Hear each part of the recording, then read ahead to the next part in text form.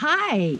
Greetings, dear precious spirit soul that you are. Yeah, you can tell it's cold out here. It's great. It's wonderful to be here and to be with you and acknowledge you. And my topic it's okay to laugh and be joyous. It's, it, it's so interesting how oftentimes we feel that the way to help others is to feel bad. And if you don't feel bad, then other people will then think that you don't care.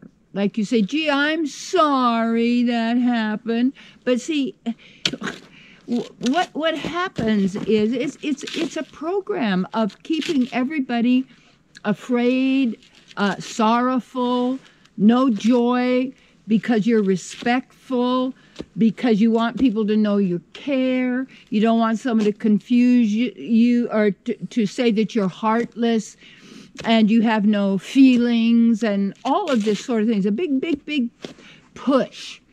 And and it's also it's like I was talking to a family member and she was going on about her childhood, which she's, you know, not a child, yeah, big person, and was telling me all the things and uh, she didn't have, and it was like, and then I said, you know, because I know her, I said, you know, I don't feel sorry for you at all. You're a fabulous person, have a great life, wonderful family, husband, children, you're a great person, and she just stopped in her tracks and she started laughing. I said, Yeah. We're always trying to convince, a lot of people are trying to convince someone else of how pathetic their life is and how pathetic it was and how they didn't have opportunities, they didn't have choices. They like the brother, the sister more than you. People develop hatreds. They develop all these attitudes and such.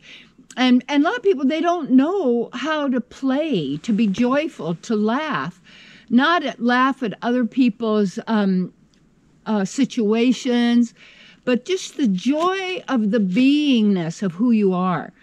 And, uh, and it is okay to be joyful even if other people are miserable. That doesn't mean you're not caring and you're not endeavoring for their welfare and doing everything you possibly can, except you can't do what they have to do for themselves. And like this, this season, what I've been doing is making a lot of gifts and and and putting those gifts of my um, talks, my my materials that I've written in magazines that I've had for years. That's wonderful, wonderful teachings. Because I'll tell you, the book, my my number one best New York bestseller was uh, How to Have More in a Have Not World.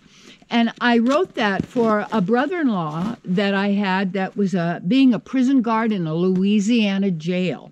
He gave me a call. He was so depressed and so terrible. It was such an awful, awful situation.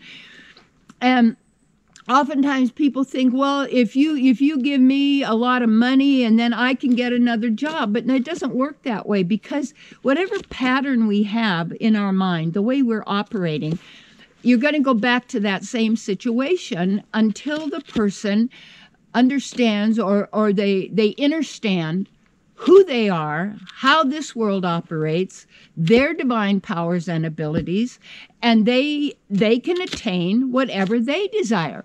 And when we give our memories power when we when we when we bring the past into the present and then suffer because we have these stories that we've made up and this is what the mind does it's always making up a story and then we go into a certain time of the, the year where uh, again the holiday season where so many people get depressed because their life isn't like it used to be or when it was. They didn't get the red bicycle for christmas 40 years ago and still going over it so they could feel bad and generate all those emotions and blah blah blah. Yeah but you're doing that to yourself. So how about get that commitment to laugh and when, and when when we really have joy in our heart. And and you might notice that there's a lot of people out there that that they're so serious so um, absorbed in the fears and the doubts and the insecurities and and the objectives of the of the mind.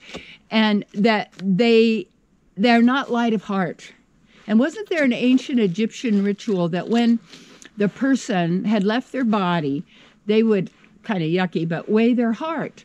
And if their heart was light as a feather, that meant that they would go on to the divine life.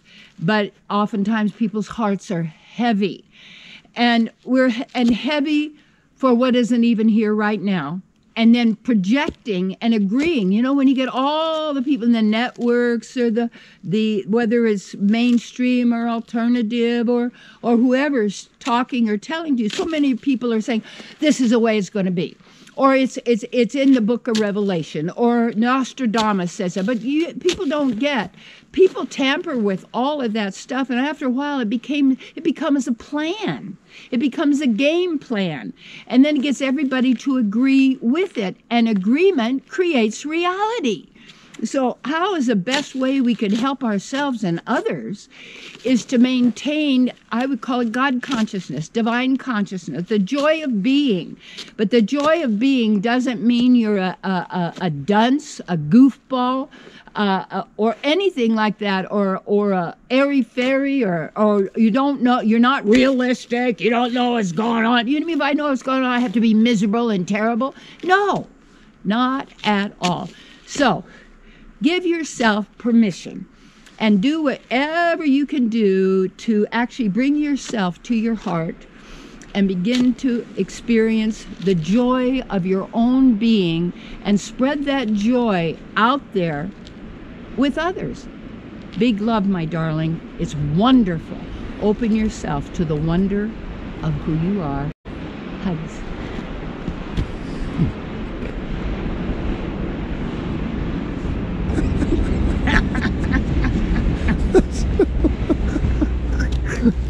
Great?